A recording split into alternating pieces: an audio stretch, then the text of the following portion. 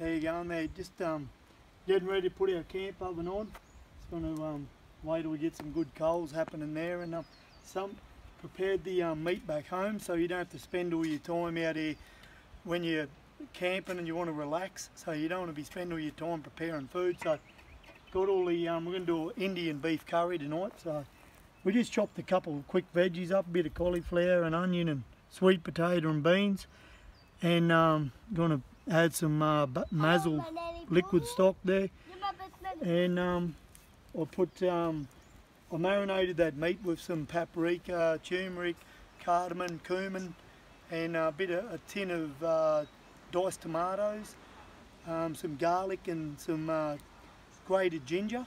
I let that marinate in the fridge for 24 hours, put it in the freezer, brought him out here today, straight in the pot, no mucking around, and uh, we'll be hooking into that with a bit of basmati rice later. Get on that. Bit dodgy.